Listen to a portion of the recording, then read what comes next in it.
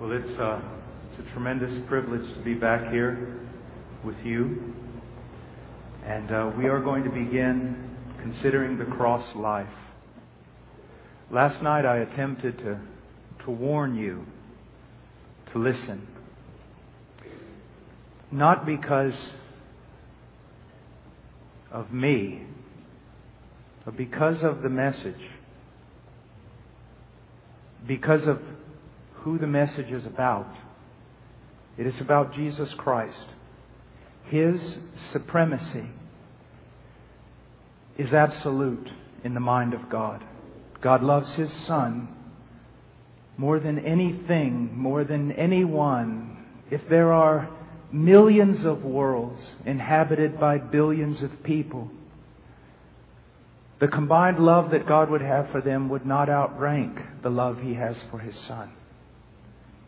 So whenever the Son is spoken of, God demands that we not be neglectful, but that we pay the greatest attention. There are so many things that I could do here. Possibly if I had a, a different personality, there would be so many things I could do to entertain you and to fire you up and to do all sorts of things. But you must learn the focus of eternity and the language of eternity. You see, heaven, well, let me put it this way. One time I was list, trying to witness to a man, and uh, he was negating many things and saying he was not really interested about a lot of things that we were talking about. And then, I don't always do this, but I felt led to do it. I, I did it. I said, So then, sir, you are content to go to hell. And he got very, very angry. And he said, How dare you tell me that I'm going to hell?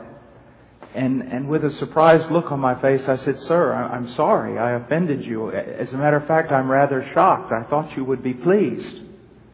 He said, How, why would I be pleased about going to hell? Well, sir, after speaking with you, I at least realized you would not be pleased about going to heaven. And he said, well, why not? I said, what do you believe heaven to be? A utopia built around men who are just as immoral in heaven as they now are on earth? And wouldn't a utopia like that quickly turn into a living hell? I said, Sir, heaven is all about God in the face of His Son, Jesus Christ. It's all about worshiping Christ. It's all about speaking of Christ. Sir, it's all about doing the will of Christ. Remember that prayer that's on a lot of plaques, even sold at truck stops? You know, the Lord's Prayer.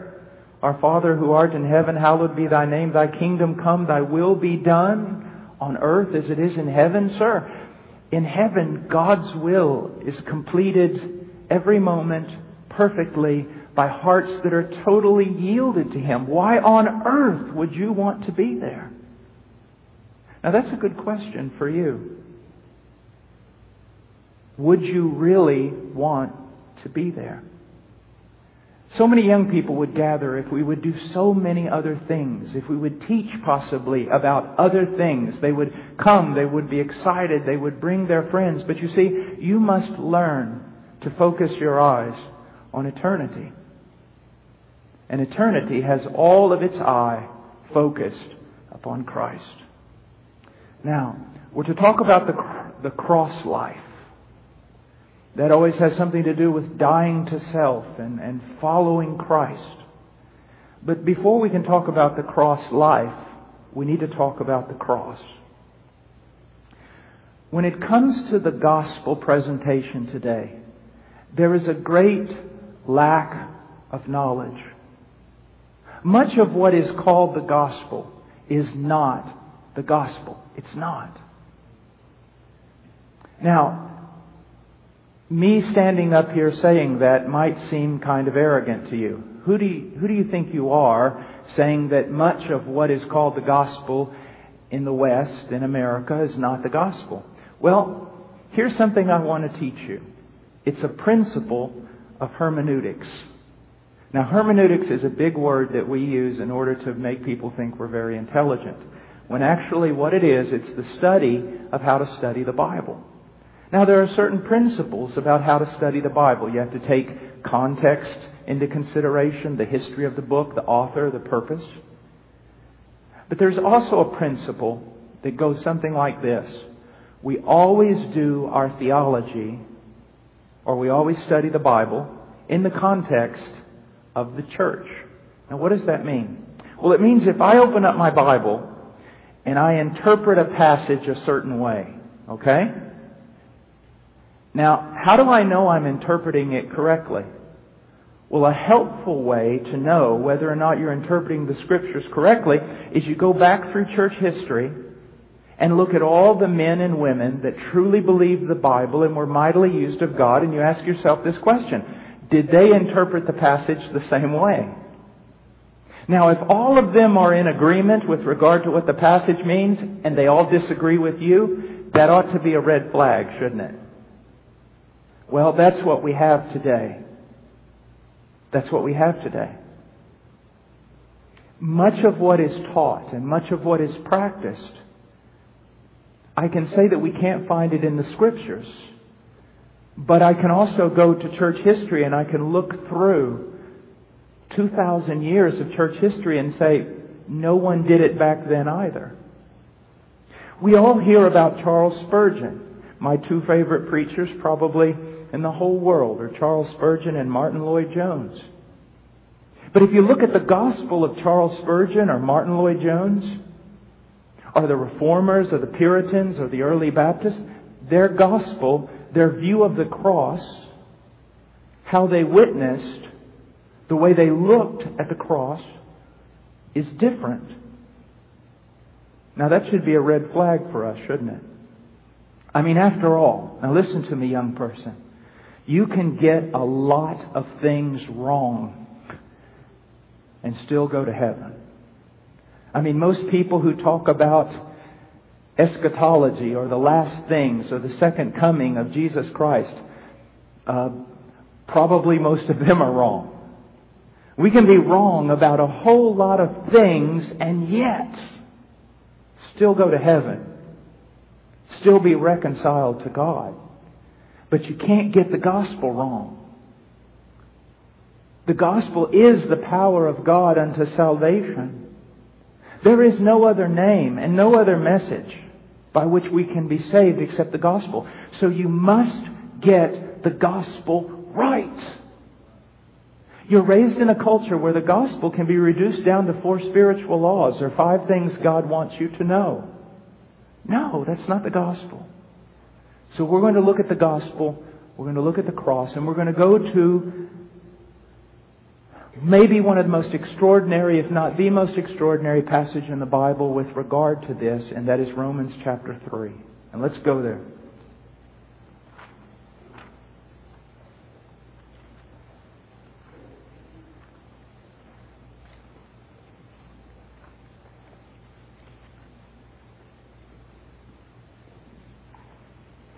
Now, I want us to begin in verse 23. For all have sinned and fall short of the glory of God. Now, this is one of the first verses that you memorized probably in your in Sunday school. For all have sinned and fall short of the glory of God. And um, it is a very important verse to memorize, but here's something that I want you to ask yourself. What does it mean? Now, I can tell you, and I'm going to put me with you so you don't think that I'm talking down to you, even though I am. I, I don't like being up here. I feel like I'm supposed to pronounce a blessing on you or something. You and I do not understand what that means. For all have sinned. Now, yes, we can define it. You know, amartano, amartia, uh, to miss the mark. It's the Greek word. It, it, means that you're shooting at the bullseye with your bow and arrow and you miss not only the bullseye but the entire target. You fall short. The arrow doesn't reach. God has revealed His character and His will to us, and we have deviated from both. We have contradicted the law of God. We have opposed it. All these things, these are all definitions that probably most of you have heard. But the meaning comes to this statement, all have sinned, when we begin to study who God is. See, you can't understand what it means, all have sinned, until you know whom we have sinned against. Let me use um, uh, President Barack Obama as, as an example. Now, there is a law, and it is, it is a good law, that you shouldn't say a lot of bad things about a president. Now, what I mean by that is this. If, if you and I are out playing basketball or something, and you say to me, you foul me like that again, Brother Paul, and I'm going to take your head off. Okay? Now, we laugh. That's just a statement. Uh, we can joke about it, or you say, I'm going to kill you on the next move. Okay? Now, because you said that, the police aren't going to show up. Um, Secret Service is not going to come running in and throw you on the ground and handcuff you. Because I'm me. Okay? You just said that about me. And I'm just me. You make the same statement to President Obama, and the Secret Service is going to show up, and they will throw you on the ground, and they will handcuff you. You don't make statements about him like that. Why? Because of the office that he holds. Because of who he is. You just don't treat him the same way. Now, the old Puritans used to say, I think it was uh, Watson said it. He said, when you sin against God, you are not sinning against some tiny mayor of an unknown village. You're not sinning against a governor of a small province. You are sinning against the creator and sustainer of the universe. You are not sinning against a fallible man. Or someone who may, in your mind at least, think, you, you can think that you des- it's right to sin against him because he's done something wrong to you. You are sinning against a creator of infinite goodness and grace that even gave you the strength that you turned against him. You see, he, we're going to talk some about holiness later on, but this is what you need to understand. Holiness is not primarily about the sinlessness of God. Holiness is primarily about the separation of God. He is not like us, just bigger. He's not like us at all. He is in a completely different category. As R.C. Sproul uh, I've heard him say, what's closer to God? A seraphim in heaven? Or let's say a worm crawling on the ground? Which one's more like God? The answer is neither. Neither. I can say, um, I can pick you out of the crowd and I can laugh at you and I can boast and say, I'm closer to the sun than you are. But the statement is so nonsensical. Why? I may be six feet higher than you right now, maybe eight, but the sun is so far away. It makes no sense to talk like that. What I want you to see is God is so totally other and so totally separate and so totally supreme and good and great and other that to sin against Him is a crime of unspeakable unspeakable, unspeakable vileness. That is why Adam and Eve could simply bite a fruit. Now look what happened. They bit into a fruit. And the entire universe was brought under the judgment of God and thrown into chaos. That's how bad sin is. And see, you and I don't understand that. We don't. I like to use the illustration, I think they put it in the notes of your book, that imagine there's God standing there in the days of creation. And he cries out to, to stars that could swallow up a thousand suns of ours. He commands those stars to put themselves in certain areas of space, and they all bow down and worship him. He tells planets to move in an order that He has designed and they all follow their course in fear. He tells mountains to be lifted up. He tells valleys to be cast down. He looks at the sea and you know the power of the sea. It's been demonstrated in recent years. Tsunamis and he looks at the brave sea and he commands the sea, you will come to this place and you will not trespass. And the sea bows down and worships and cries out, Amen. And then God looks at you and says, Come. And you say, No. That is why on the day of creation, on the day of judgment, now, uh, you've got to understand this. I'm not trying to be mean or hurt you, but you've got to understand this. This is why, on the day of judgment, saints and angels and all of creation will stand to their feet and applaud God when He condemns you to hell. Have you ever thought about that? They're all in agreement that you should be cast out.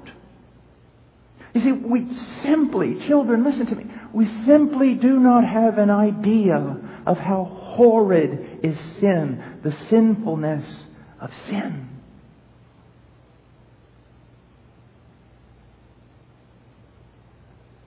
But the more we study the attributes of God, the more we know who God is, the clearer this definition what is sin? What is sin? Now, he says here, for all have sinned. It is a universal thing. You, you see, when, when my wife was yet converted, we were married and um, I did not know that she was not converted. She was such a moral and godly in a sense, person. She was very disciplined. She was willing to do anything in missions, go down dangerous rivers, teach people the Bible. But one day she was sitting there in a, in a tent meeting in the inner city of San Antonio. And here's this woman who had even put her life in jeopardy for the cause of the gospel. And she told me that while I was preaching, she looked out the door of the tent and there was a woman there, a prostitute, who was eaten up with AIDS, a woman that I had been witnessing to. Was just eaten up with AIDS. Couldn't have weighed more than 110 pounds. Just there. She, her skin and everything, there were sores. It was, it was horrid. And she said, for the first time in her life, she felt as though God had spoke to her and told her the only difference between you and that prostitute are the clothes you have on. All your good works are like filthy rags. You see, so you can compare yourself, but it, but it makes no sense. Do you realize you cannot even set yourself above Hitler, whose name has gone down as the most heinous, the, the most horrid human being possibly that has ever lived, and yet you cannot sit in judgment of him. As we're going to possibly learn later, the only reason you don't make Hitler look like a choir boy is because the grace of God restrains you. Hitler is not the anomaly. He's what everyone would be if God in His grace did not restrain the wicked. You see that? I mean, this is, you see why I said you need to be careful to listen? Because you really don't hear this much, do you, in Christianity today?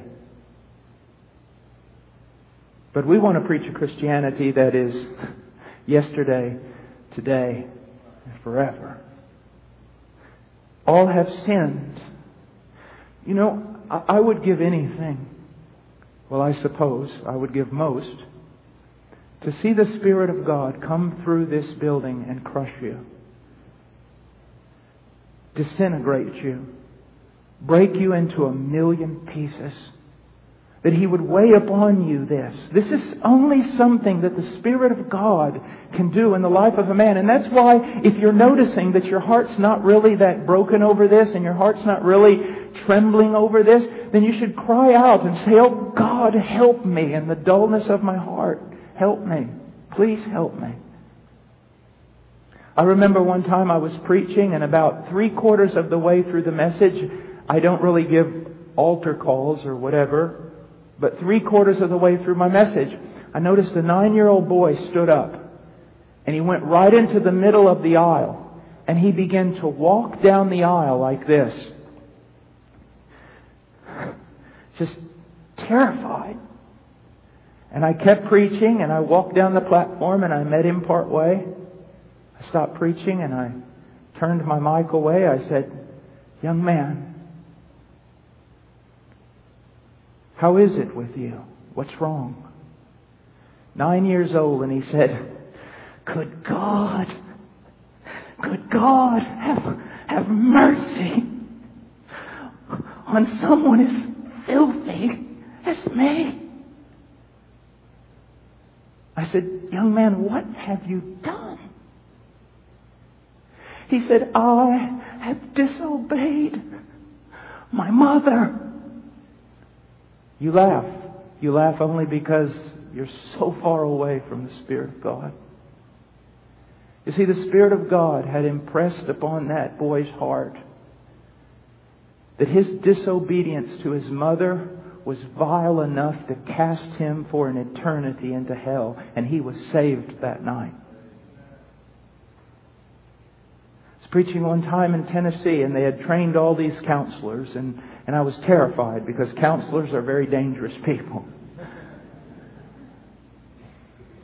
And as I was preaching, I noticed over to the left, people started weeping. And then people started weeping. It came across, and people just started weeping. And people just started coming, and, and, and as I guess they were taught to do, they just came forward and started, some of them almost hysterical by the time they got forward. And I noticed the lead counselor kept looking at me like,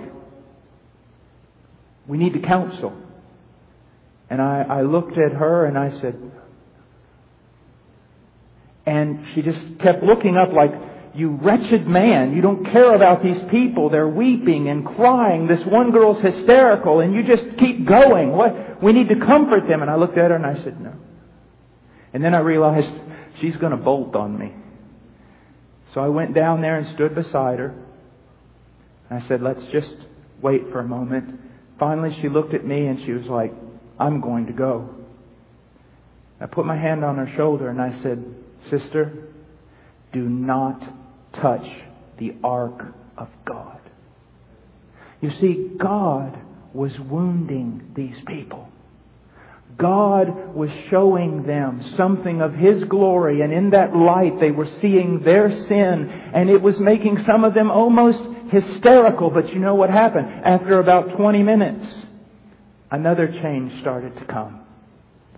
There was joy on faces, glowing, forgiveness, freedom. The, the, the young college girl that was almost hysterical was now beside herself with joy. That's why you see, there is no preacher that can make these kind of things happen. Preachers can make a lot of things happen, and most of it is false. Every time I walk out here, it's as though the Lord were saying, Son of man, can these bones live? And my answer is, You know, O Lord. I do not say yes they can and presume upon Him, and I do not say no they can't and doubt Him. I must say, Lord, blow on these. Cause them to please see the greatness of this message. That's my prayer for you. Now, I'm going to teach you this week. I'm not going to stand up here and do all sorts of things that might get you fired up. Why is that? Because you see, if the Spirit of God does not move this week, at least I will teach you truth. And maybe 15 years from now, the Spirit of God will take that truth and regenerate your heart.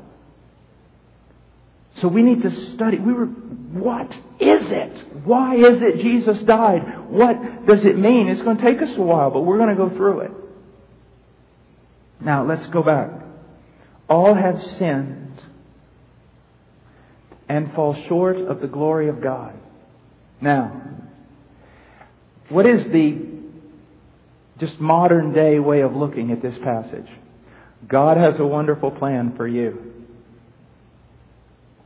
God has a glorious plan for you, but because of your sin, you've missed that glorious plan, and God wants to save you and put you back on course to this glorious plan He has for you. Well, to be honest with you, that can be found in the text to some degree. But it's not the emphasis of the text. The emphasis of the text is this. Now get ready because this changes everything. You were made for God. And you were made for God's glory. And you are going to be a miserable wretch apart from applying that truth to your life. This is not about you. It's about Him. He made you for His pleasure. That's what you were made for. Now you can you can do what secular man does. I do not exist for anyone's pleasure. I am a being in my own right. I'll live my own way. Go ahead. Go ahead. And you will be dislocated and broken and miserable and incomplete all the days of your life. Because you were not made for that. I, uh, I make longbows uh, that shoot arrows out of. And uh, when I have time, it's something that, that I love to do. And I can make a really good bow. It could shoot an, it kill an elk. Strong bows.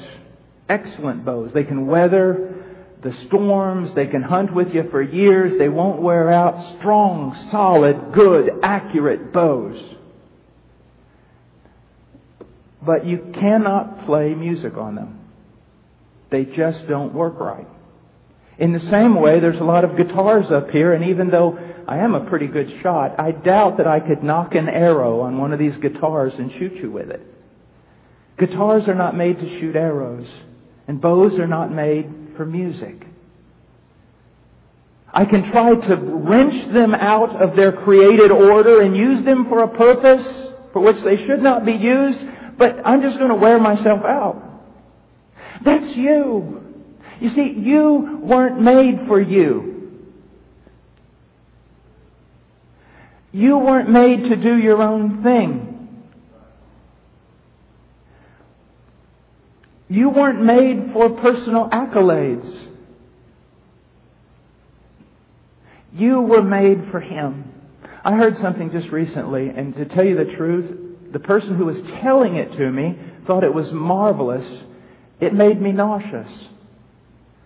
I was asked, we were talking about music, and we were talking about young, um, just young musicians, these powerful musicians that often come out of Asia, Japan, uh, you know, six years old and they're playing with the orchestra, all this sort of thing.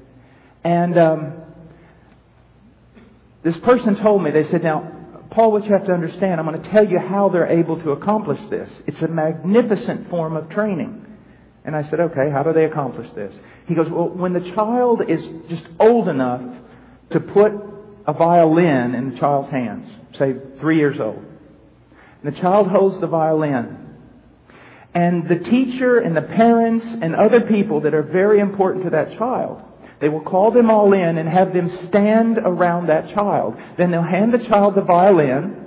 They'll hand the, the, the child a, a bow. And they'll encourage the child to play. Anything. So the child takes the violin and can barely, you know, smacks the string with the bow.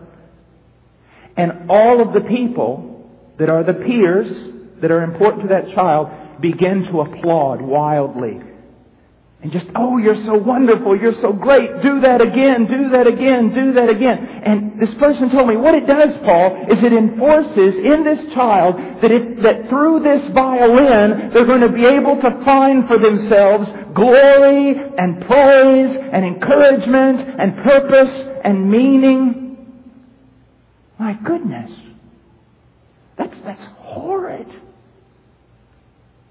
And yet the scriptures say, whether you eat or drink or any other thing you do, do it all unto the glory of God. As I told you last night, um, I've walked with the Lord for almost, I guess it's 28, 29 years or something. And I have regrets. I've lost a lot. I have. And I have regrets. I don't regret my losses. I regret what I have kept.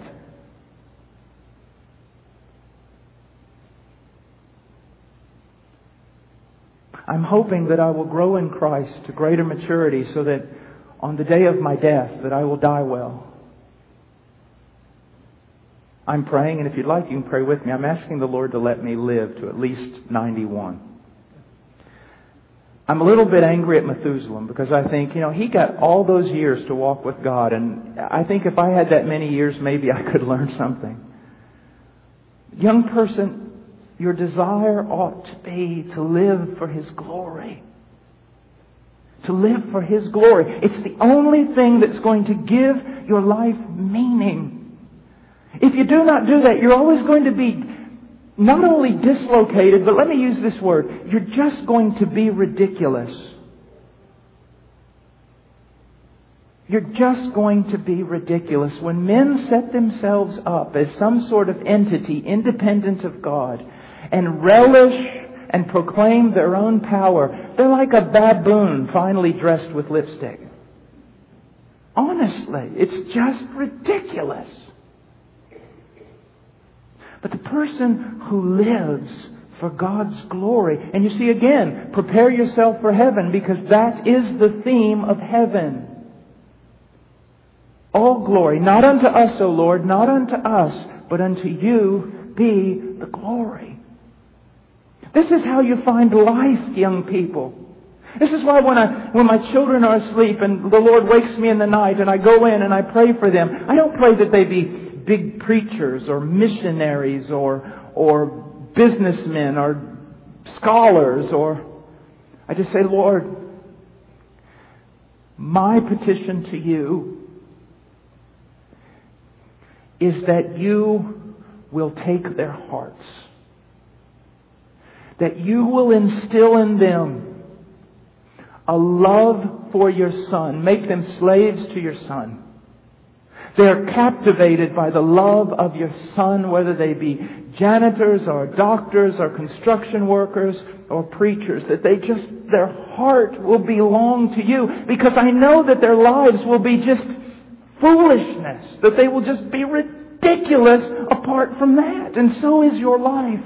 And not only ridiculous, but pitiful. I, I like to say it this way. I mean, you know, there's some of you guys out there, you know, you're young and your bodies feel good and you're strong and, and, and, and you're nimble and you're quick and do you not realize that one day someone is going to have to help you go to the bathroom? You will have no strength. You'll be old and feeble. Take no joy in even music or song our physical pleasure. That's coming quickly. You young girls, so concerned your culture is with the way you look. You're in front of the mirror all the time. You want to be so beautiful, and many of you, you are beautiful. You're young. But let me just share with you something, young ladies. one day each and every one of you is going to be frightfully ugly.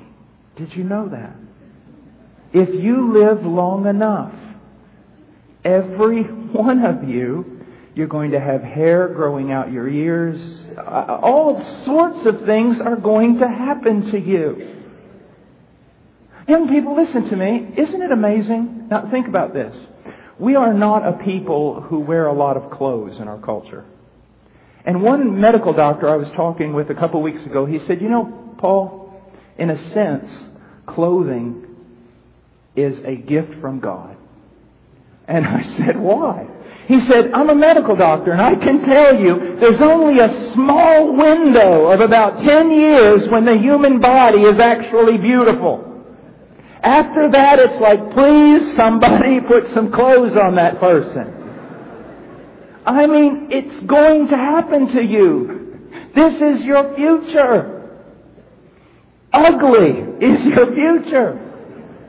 And then after that, you die. Have a nice day. But do you see that? I don't want that for you.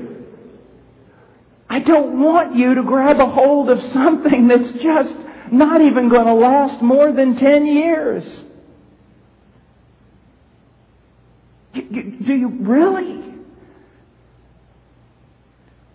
I saw a, famous actress one time, and even when she was like 65 years old, and and even then she was still somewhat physically attractive because she had had probably every kind of surgery you could possibly have.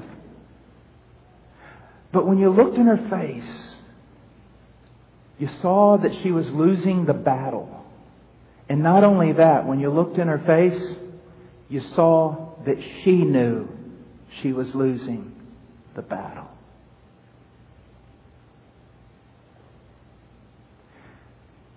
Today, or yesterday, you were born. Today you sit here as a teenager. Tomorrow you will be 50. The next day you will be no more. You will either live for the glory of God or you will be a dislocated, miserable fool. One of the things that so disrupted my life was when I was 17, a great, great fear, but a great respect for my father. And we, he was a very smart man, but he also had, had a hobby of, well, we had quarter horses and Charolais cattle. It was a horse, horse farm. And he and I were out, um, I was 17 years old, and we were out building a, a fence. And, um, we were talking about the upcoming basketball season and, and, you know, all kinds of stuff. And all of a sudden, when I, I took a few steps back to go to the truck, I heard my father scream. And I turned around and I ran to him, and I caught him, and we fell to the ground, and he was dead. That threw my world for a loop. Why? All right. My father was a big man, strong.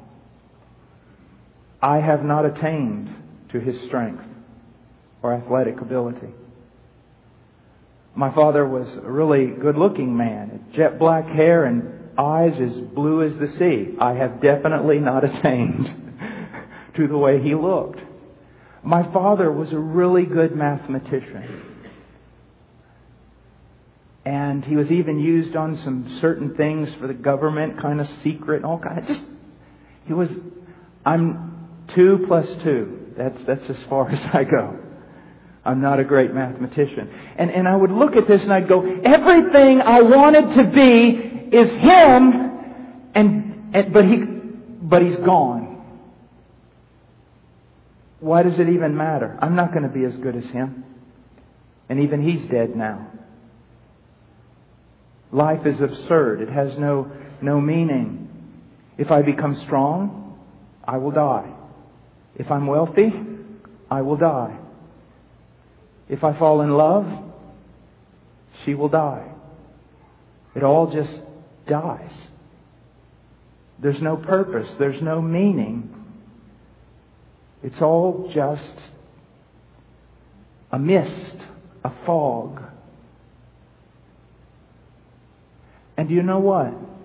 This horrid thing I've described, did you know it's actually God's gift to us? Do you remember when Adam fell? And he told Adam, From now on you will live by the sweat of your brow. You will work in something of misery and futility. Do you remember when he, he looked at Eve and he said, You're going to have childbirth, and it's going to really hurt. Although my wife still finds this hard to believe, that was a gift from God.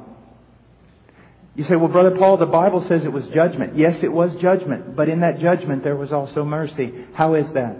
Every time, and this is how God reveals himself to men, secular men. Every time a man goes out and he works and he works and he works and it all falls apart, it's all futility, it's all vain. Every time he gets what he wants, like a new car or a new boat or this or that, a promotion, and yet it doesn't satisfy him, that is God screaming out at him, you are fallen, you are fallen, you are fallen, you were made for me, you were made for me, turn back to me, turn back to me.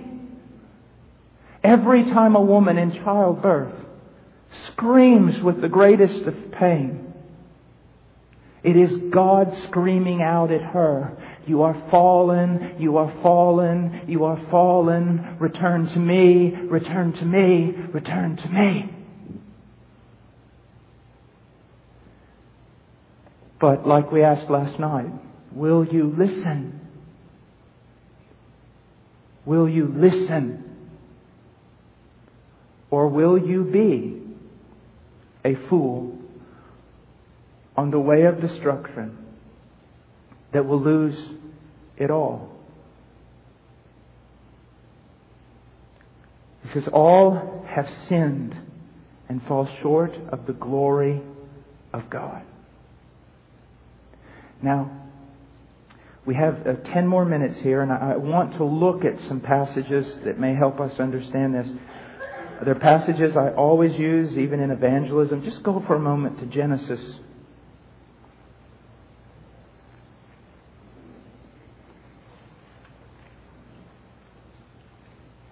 Chapter 6, verse 5.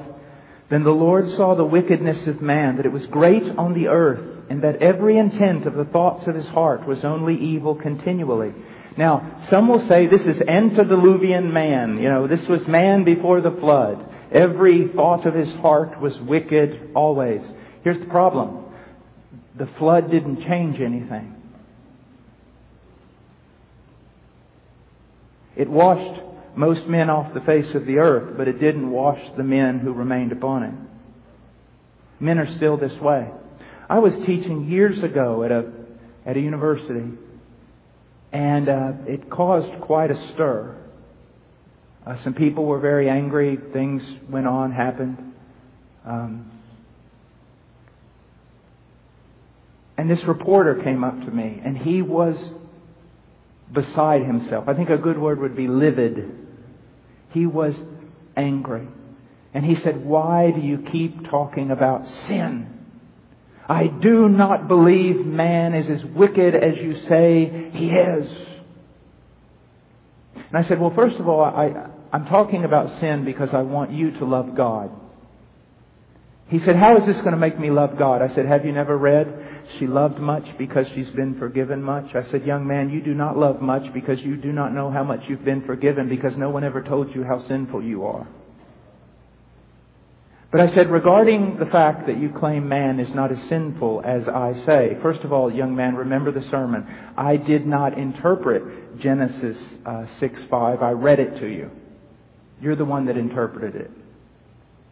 But let's talk about that for a moment. You do not think that every thought of a man's heart is wicked? Let's say that I could take every thought you've ever had, every one, from the time when you first remember thinking, even till right now, and your thoughts in this camp. and I could take them and transpose them upon a DVD. And I came to you and said, tonight, I'm going to show your DVD to the whole auditorium. You would beg me with tears.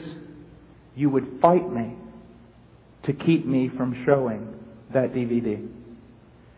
Because you have thought things so vile, so wicked, that you cannot share them with your closest friend. And if your closest friend even knew some of your thoughts, they would no longer be your friend. You would be so totally and utterly ashamed. Now, let's think about that for a moment. You're ashamed about this even before us. You don't want us to see it, even though you know that we're just like you. We're just as bad as you are, and yet you don't want us to see it. So now let me ask you a question. What's going to happen in the judgment when this is exposed before a holy God? When this is shown before angels? When this is shown to the saints? Shame?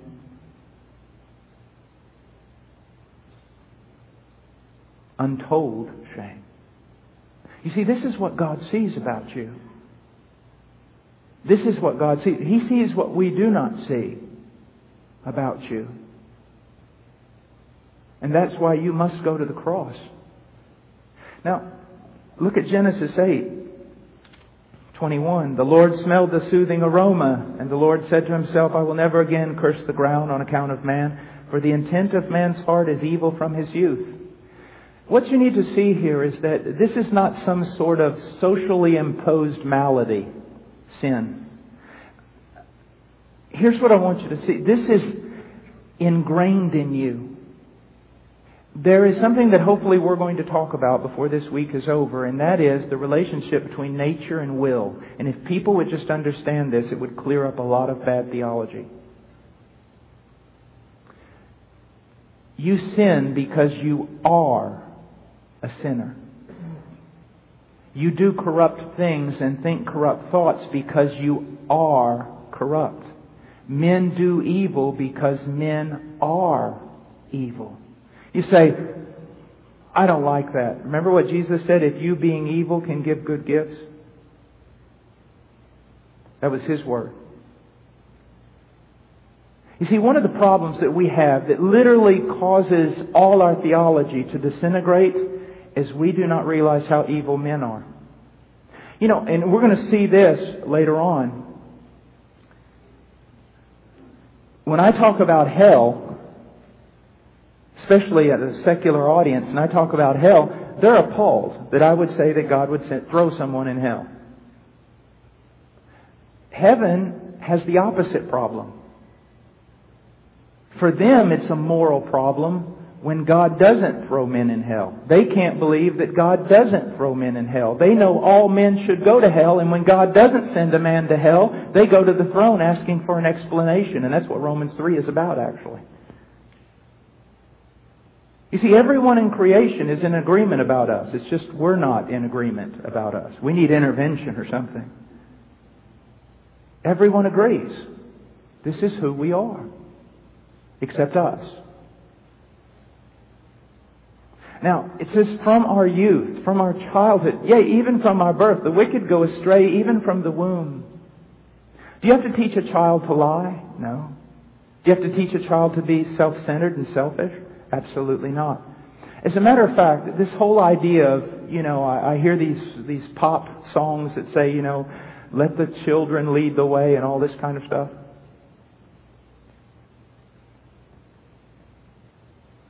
That would be the most terrifying thing I could ever imagine. Have you ever seen children in the first years of grade school and how they will find weaknesses in a child or defects in a child and they will literally cannibalize that child? Merciless. Merciless. You know exactly what I'm talking about. One law enforcement person or a person involved in law enforcement made this comment one time. After all these years and the atrocities that I have seen among men and children and women, I would have to say this. Men are born evil. They are born evil. And he said, I would submit to you this. You're holding an 18 month old baby in your arms. And that baby looks at the watch that's on your hand and wants it.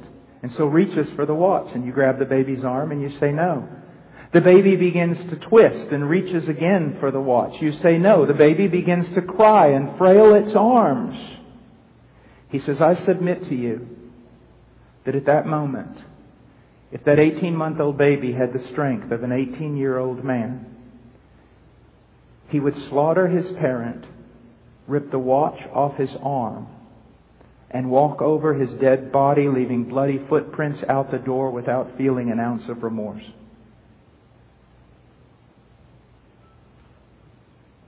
Just look at your newspaper.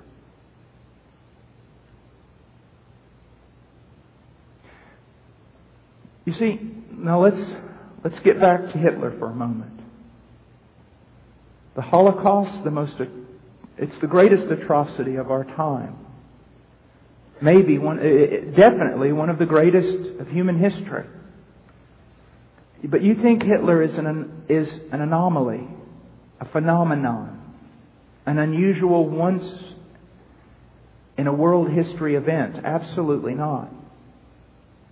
I would submit to you that the only thing that keeps every human on this planet from being like Hitler or surpassing Hitler in evil is the common grace of God restraining men.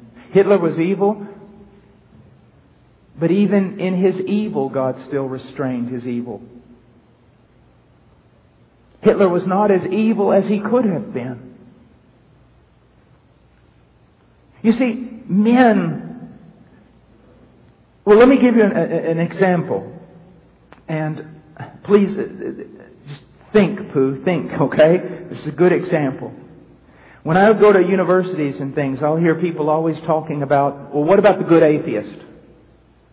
And before I answer that question, I always say, the good atheist. You know, could you give me his name and number? Because I've been hearing about him all over the place, but I've never met him. The good atheist. What about the atheist who, you know, he will rake the leaves of his elderly neighbor, he will go charge up her battery when it's cold, he's pretty much a nice guy. What is God, going to do with him? Well, first of all, what you see there is superficial and you're not seeing in his heart. We've already determined what men think in their hearts.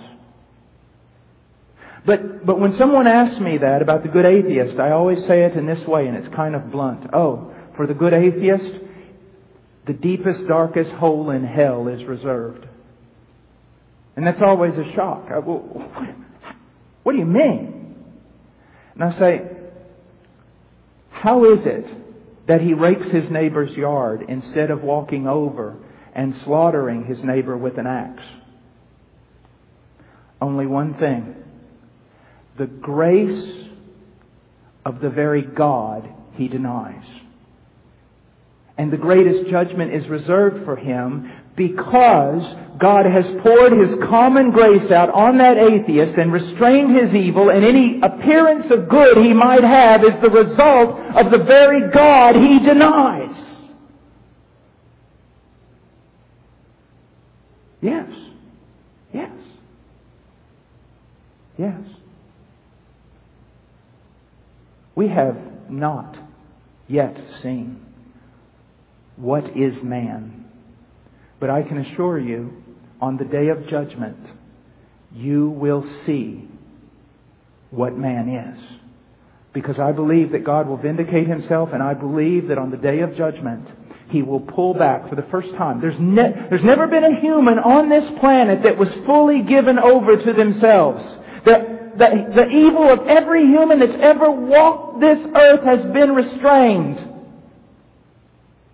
But on the day of judgment, God will pull back His restraining grace and you will see a monster. that goes beyond the ability of Hollywood or your own mind to imagine. And you will realize that was you. That would be you apart from the grace of God. Now,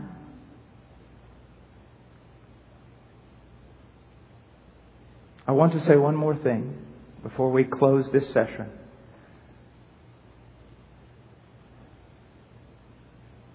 This problem is so profound. It's so deep. It is so impossible for us to solve.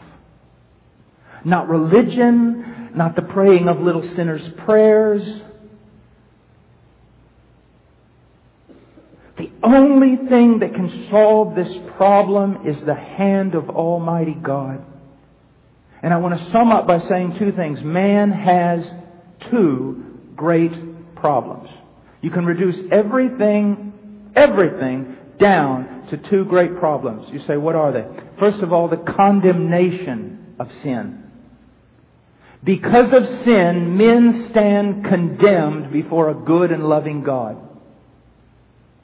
The second is the power of sin. Men are under sin's power and they have become a slave to it, a willing slave, not a victim.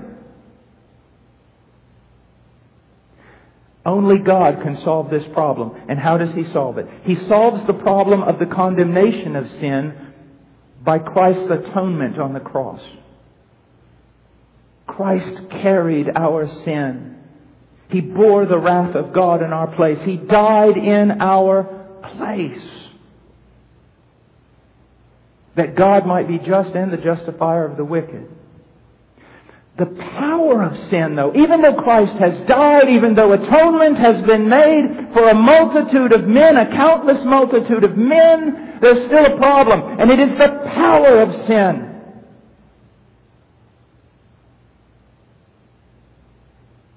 And that problem is solved by the doctrine of regeneration. That the God sends His Spirit to regenerate your heart, to make you a new creature. And with that new heart, you have new affections. And when those new affections, when your eyes with those new affections fall upon Christ, you are drawn to Him because He is altogether lovely. Now we're going to try to get through all this this week so that when you walk out of here on Friday, you're going to know something about the gospel. Let's pray. Father, I come before you and I pray. You have helped. You have. And I pray you will continue to help. In Jesus' name, amen.